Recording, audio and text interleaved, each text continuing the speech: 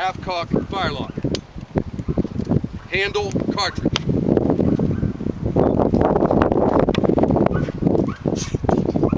Nothing like the taste of black powder in end. Prime. Shot pan. Charge with cartridge. Draw rammer. This is all while the enemy's firing back at you. Ram down cartridge. Return rammer. Shoulder firelock. Poise firelock. Full cock firelock. Take aim. See how fast that smoke dissipated. What if you've got hundreds of muskets going off with no wind and high humidity?